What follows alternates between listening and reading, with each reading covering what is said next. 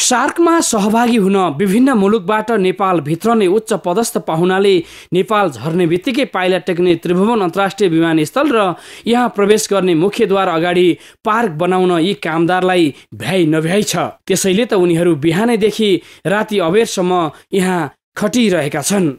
राजधानीको माइतीघरमा रहेको यो मण्डला सिँगार्न यहाँ कामदार खटिएको दुई साता बढी भइसक्यो तर पनि काम अझै सकिएको छैन।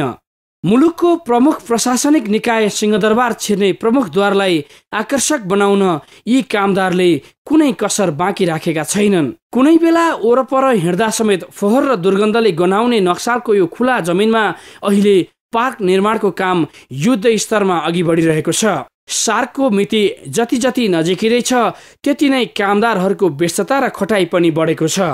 कामदारहरूले अहोरात्र खटेर मर्मत संहार गरिरहेका यी त केही प्रतिनिधि स्थान मात्रै हुन्। यसबाहेक दुई दर्जन बढी सार्वजनिक स्थान सडक बगैँचा र अन्य भवन तथा प्राकृतिक सम्पदालाई नयाँ र आकर्षक बनाउनका लागि सयौं कामदार खटिरहेका छन्।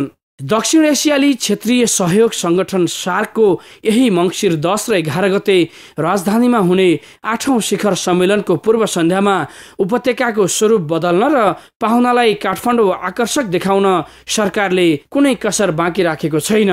फरक यति हो कतिपय स्थानमा राम्रो काम भएको छ कतिपय स्थानमा फगत झारा टार्ने काम।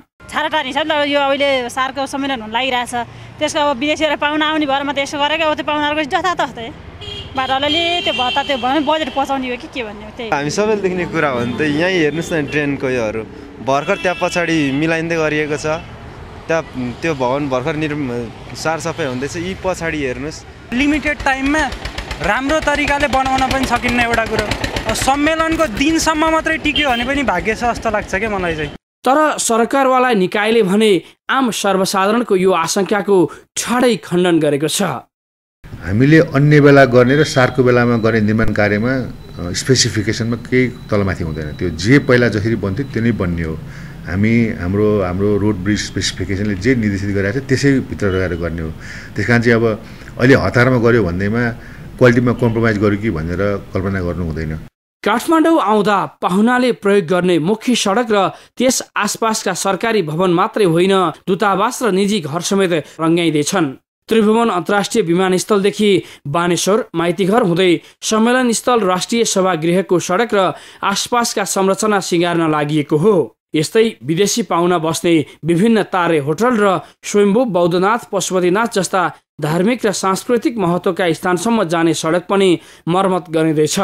यसका अलावा विदेशी पाहुना काठमाडौँमा रहँदा आवश्यक पर्ने औषधोपचार र त्यसका लागि सम्भावित अस्पतालको पहिचान गरी त्यहाँसम्म पुग्ने सडक पनि मर्मत गर्ने र कालोपत्रे गर्ने काम पनि युद्ध स्तरमा अघि बढिरहेको छ।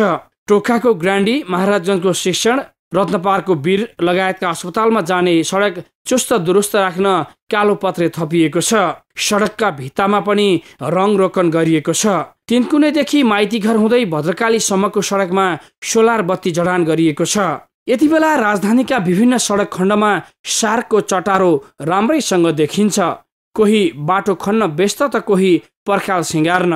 अनि कोही ज्यानै जोखिममा राखेर बाटो छेउका विभिन्न सरकारी र निजी भवन सिगार्न व्यस्त छन्। यति तीव्र गतिमा काम हुँदा पनि निर्धारित मितिमै काम सम्पन्न हुनेमा भने सरकारवाला निकाय ढुक्क छैन। जुन हामी पिच गर्ने भन्छौँ नि अस्फाल्ट कङ्क्रिट भन्छ त्यसलाई हामी टेक्निकल्ली टेक्निकल भाषामा। त्यो तयार गर्नको लागि जुन प्लान्ट हामीसँग काठमाडौँ उपत्यकामा एभाइलेबल छ त्यसको क्यापासिटी अथवा त्यो प्लान्टको कमीले गर्दाखेरि पनि जति चाहिने मेटेरियल प्रडक्सन गर्न सकिरहेको छैन। त्यसले गर्दा रातो दिन काम गर्दाखेरि पनि भ्याइ नभ्याइ छ। त्यसैले अब सडकको काममा अब केही छिटपुट कामहरू अझै पनि बाँकी रहने हुन् कि भन्ने हामीलाई पनि कता कता शङ्का थिएर लागेर आइराखेको छ।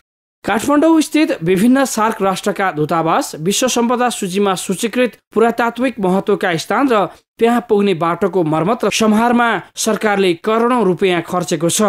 सरकारी प्रयासले काठमाडौँ एकपटक सुन्दर र आकर्षक त देखिएको छ नै तर अहिले बनाइएका सम्पदाको दिगोपनमा भने प्रशस्त प्रश्न उब्जेको छ। जुन सरकारी राजस्व एकपटक बालुवामा पानी हुने पो हो कि?